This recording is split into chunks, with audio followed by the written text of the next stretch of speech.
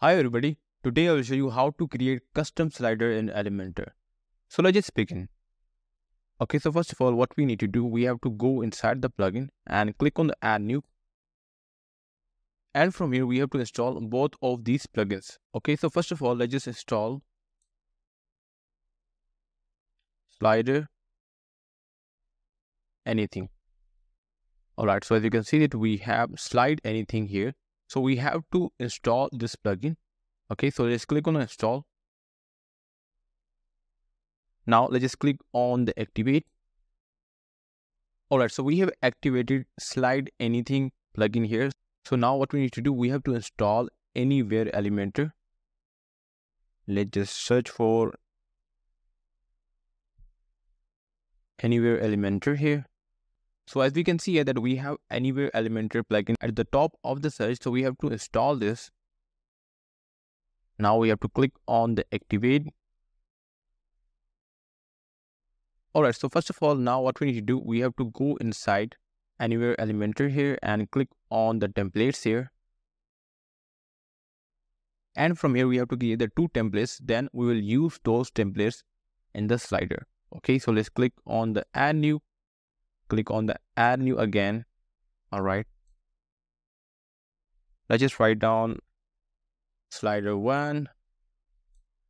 Just go inside another file here. So so this would be slider 2 click on the edit with elementor. Just go back to another template. Click on the edit with elementor here again all right Alright, so both of the sliders are open in the Elementor editor. Okay, so as you can see here, we have the slider 1 and we also have the slider 2. Okay, so now let's just edit the slider 1 here. So first of all, I would actually go inside the settings here. And from here, I have to change the page layout because I don't want the header and the footer. So let's click on the Elementor canvas. Alright, so we have changed the layout of the page. So let's just design our slider here. Okay, so first of all, I would actually click on the container and this would be the two column structure. Alright, so now in the first column, I would actually write down the heading and I would also add paragraph here. Alright, and in the second column, I would actually like to have the image here. Okay, so let's click on the choose image and from here we will simply select the image. So let's try to use this image here, click on the select. All right. So now here you can simply add the heading, whatever heading you want to add. So I will simply just write down landscape one and here we have some dummy text. Okay, so that is it. Now what I need to do, I have to add the background color to our container. So that would be click on the style, click on the classic here and select the color from here. Okay, Okay, so I think I will simply go here with the black color. Okay, so I have to change the color of the text. So that would be the white color. And I just try to change the color over paragraph. So that would be a kind of grayish color. Okay, so that is looking better. And we can add the margin and the padding here to our container. Let's try to add the padding. I'll link the values first. And here I would actually like to add 80 px from the top and 80 px from the bottom. Okay, so this is looking better or we can decrease the value here to the 60 px. Alright, so this is looking fine now. Alright, so this is the design that we will be using in the slider. Okay, so let's just copy this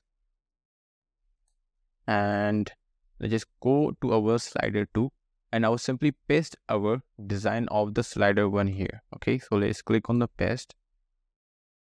And here you will be able to see the design. So you can simply change the text here. So this would be landscape 2 and here let's just change the picture here.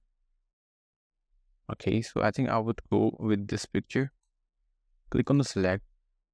Alright, so I think I have to change the image of the slider one. Okay, so let's just put this into the center first all right now i have to click on the edit container here and here i have to click on the center now you can see this our text is into the center now let's just go back to our slider one and just change the image here that could match the aspect ratio of the image of the slider too.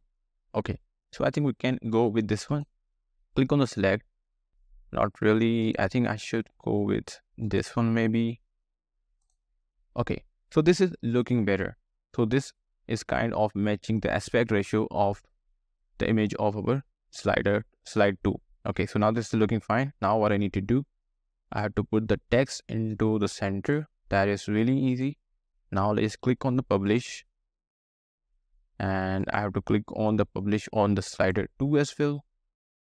Alright, so now let's just go back here, refresh the page.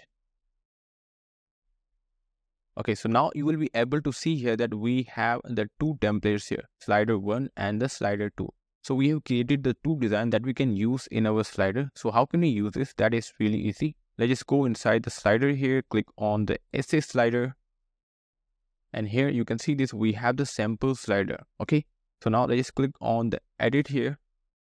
And here what you need to do, you have to set the settings, but you have to keep the things in the mind that you don't really mess up the values here.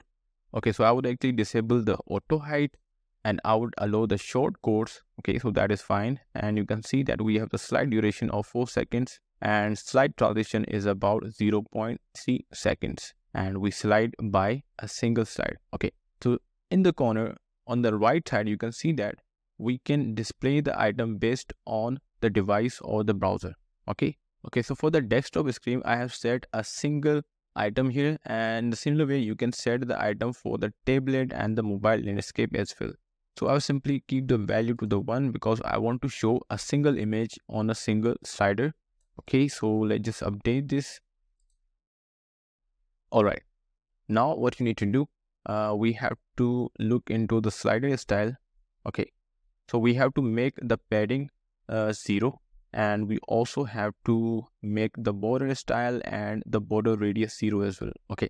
So if you want your slider to cover all the space, you know that you don't want to have any border or any border radius. So you have to keep the values to the zero. And after that, we have the min height. So that would be in the percentage. So I have set the value to the 30. You can increase or decrease the value according to your slider so that is totally depends on the kind of slider that you're creating and after that you have to check on the DOM content loaded event okay? So that is it for now. Now what we need to do we actually have to insert the short code of our sliders okay? So let's just remove this and let's just click on the all templates here. Copy the shortcode from here. Go back to our slider. Paste the shortcode and in the similar way I just click on the slide to here and we have to remove this first. Let's just go back to our template here copy this and go back paste the value here of the shortcode okay? But if you want to add more than two slides you simply click on the add slide here and this would actually create a new slide here okay? So that is it. Now what we need to do we have to click on the update. All right. Now let's have a look at our website.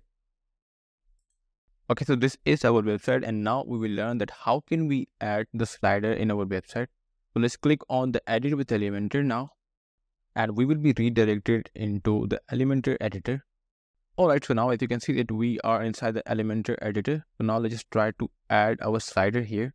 Okay, so I would actually like to add the slider here. So let's click on the add section and click on the add container. So this would be the single column structure. And from here, I have to write down short code here. Okay, so let's drag this and put this here. And here, what I need to do, I have to add the short code. Okay, so let's go back to our sample slider. And from here, we can simply copy our short code of our slider. Go back to the home, paste the value here, now let's just click on the apply. Okay, so now here what I need to do, I have to change the width of our container. So that would be actually full width. Now click on the update and let's just preview the changes. Alright, so let's just refresh the page and now you will be able to see our slider here. Alright, so now you can see this we have our slider here and we have the landscape one and we have the landscape two. Alright, so this is how we can create the custom slider in Elementor. So if you really find this video useful, hit the like button and subscribe the channel.